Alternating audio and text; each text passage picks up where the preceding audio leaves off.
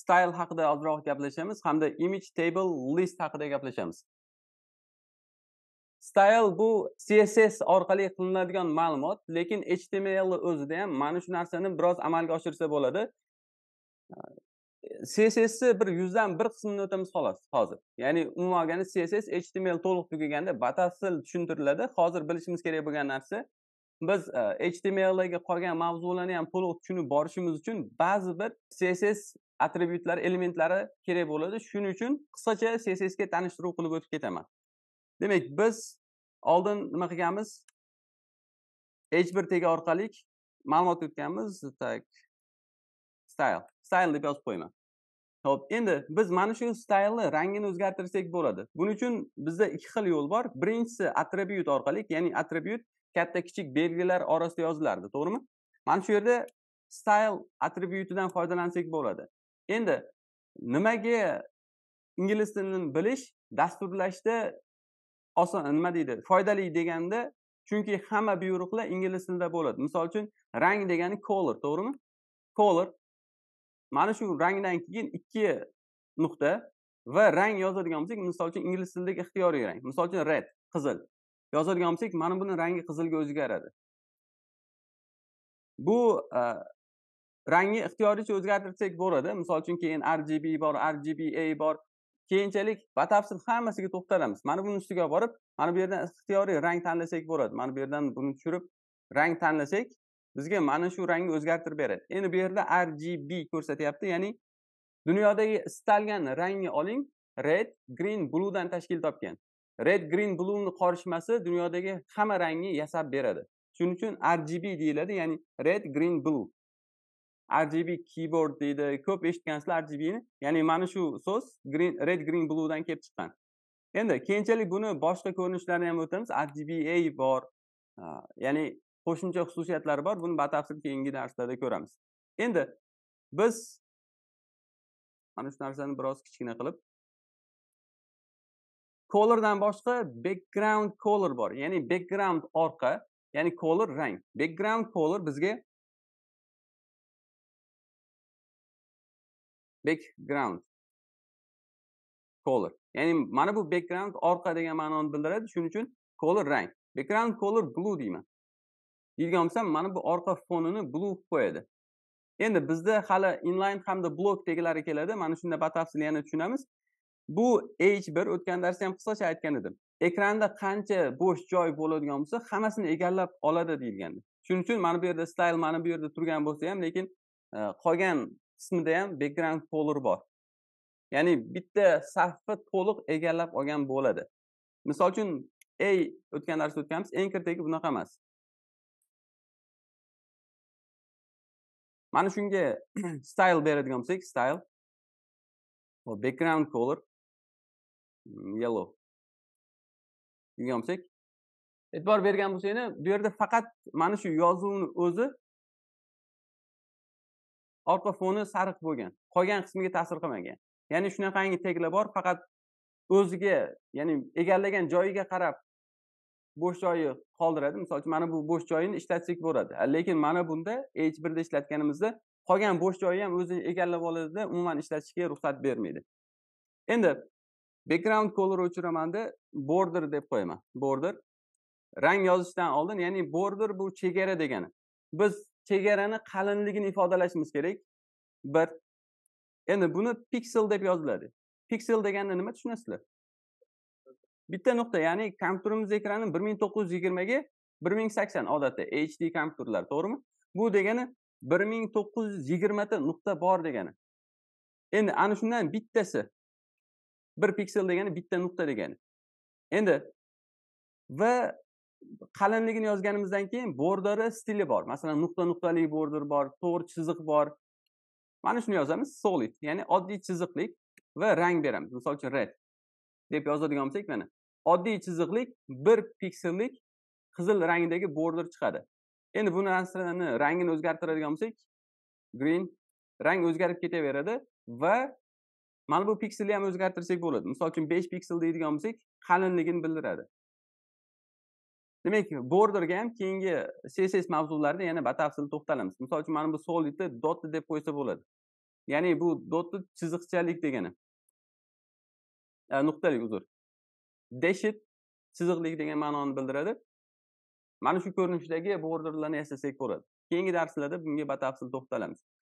Ho'p bu yerda e'tibor bersangiz mana bu style degan yozuv borderni yoniga yaqinlashib qolgan ozroq joy ajratishimiz mumkin yuqorisidan pastidan. Demak bu narsani ishlatishimiz uchun bizga padding degan tushuncha kerak bo'ladi. Ho'p mana bu yerdan ikki nuqta qo'yib qolgandan yozib ketaverasiz. Qanaqa dizayn kerak bo'ladigan bo'lsa masalan padding. Padding besh piksel deydigan bo'lsak besh piksel ya'ni beshta nuqta har tomonidan bo'sh joy ajratib beradi. Mana bu yon tomondan ham bo'sh joy ajradi o'n besh deydigan bo'lsak yana ham kattaroq bo'sh joy ajraydi. Demak har tomonidan. Ho'p okey. Demak border collapse bu bizda table bor. Mana shu narsani tablega nisbatan ishlatamiz. Ya'ni e, table ishlatgan vaqtimizda hozir mana shundan keyingi mavzu borderlar double bo'lib qoladi.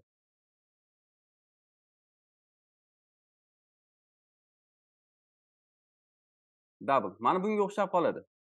Table yasagan vaqtimizda. Jadval ya'ni table degan mana shu narsa border collapse collapse degan qiymat beriladigan bo'lsa border collapse collapse. Mana shu chiz borderni ya'ni ikkitaligi bittalik qilib qo'yadi. Bu narsani tableda yana ko'rib ketamiz. Ho'p nima bor yana? Visibility collapse ya'ni visibility collapse bu umuman olganda visibility ko'rinishi collapse bu yiqilishi degan. Ya'ni bu degani ko'rinib turgan ma'lumotni o'chirib qo'yadi. Ikki nuqta nuqta verguldan keyin xohlaganimizcha css attribyutlarini yozib kelsak bo'ladi. Visibility collapse deb yozadigan bo'lsak mana bu narsa yo'qolib qoladi. Endi keyinchalik boshqa yo'llarini o'tamiz ya'ni visibilityni o'rniga display none desak bo'ladi. Endi bu yerdagi farqini ko'rasizlar visibilityda ko'rinmayotgandi xolos lekin asli bor. Nanda mana bu instagram mana bu style degan nimani yozuvi ustiga chiqib qoldi. Hozir ko'ryapsiz farqini. Komment olib. Okey bitta komment beramiz ekanmiz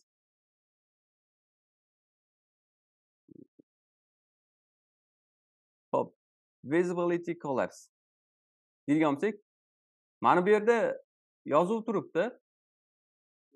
Joyi ham masalan instagram mana shu yerda pastda turibdi. Lekin display flex display none bo'lganda mana shu narsa yo'q bo'lib qoladi. Demak ikkalasini farqi mana shunda. Display to'liq mana bu h bir tegini mana shu bodyni ichidan o'chirib tashlaydi просто visibility collapse ko'rinmaydigan qilib qo'yadi xolos. Opacity ham mana shu narsa. Misol uchun bularni o'rniga opacity beradigan bo'lsak agar nol beradigan bo'lsak collapse bilan bir xil joyida turibdi mana bu. Lekin farqi biz bunga opacityga noldan birgacha bo'lgan raqam bera olamiz. Misol uchun nol butun olti yoki besh deydigan bo'lsak ellik foiz ko'rsatsin deydi. Misol uchun uch deydigan bo'lsak o'ttiz foiz ko'rsatsin. Bir deydigan bo'lsak bir foiz ko'rsatsin. Yana ham xiralashib ketaveradi. Qancha kichik raqam berilsa. Masalan to'qqiz deydigan bo'lsak yana ham tiniq bo'ladi. Tushunarlika kimda savol bor? Ya'ni display nan bo'lishimi? Ho'p qarang. Mobile versiyaga o'tgan vaqtingizda yuqoridagi turgan navbar oddiygina tugmaga o'zgaradi to'g'rimi? Siz yuqoridagi navbar mobil ekran kichkina bo'lgan vaqtda yashirib qo'yishingiz kerak. Ma'lum mobile versiyaga kelganda уже yuqoridagi o'chsinda yonida kichkina tugma paydo bo'lsin deyishingiz kerak.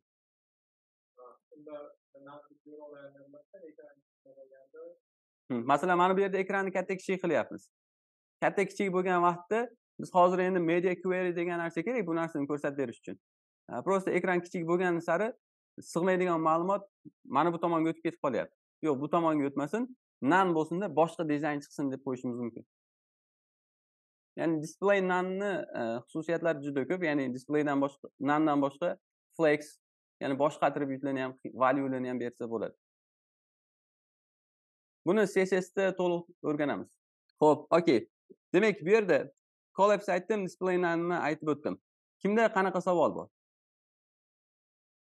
Ho'p endi keyinchalik css ulagan vaqtimizda biz mana bunga o'xshab turib nima qilmaymiz? Ya'ni style yozib o'tirmaymiz h1 ichiga. Chunki bunaqa style har bittasiga yozib chiqadigan bo'lsak juda katta kod bo'lib ketadi tushunishimizga qiyin bo'ladi. Ya'ni kodni soddalashtirish uchun nima qilishimiz mumkin? Bizda xuddi mana bu taglarga o'xshagan style tegi bor. Mana shu style tegi orqali ishlatsak bo'ladi css to'g'ridan to'g'ri mana shu environmentni yasab beradi. Endi bu qanaqa ishlaydi? Faqatgina bizga selector degan tushuncha kerak bo'ladi. Keyingi darslarda bor. Ya'ni aytaylik mana bu h birga dizayn bermoqchimiz mana shu narsani.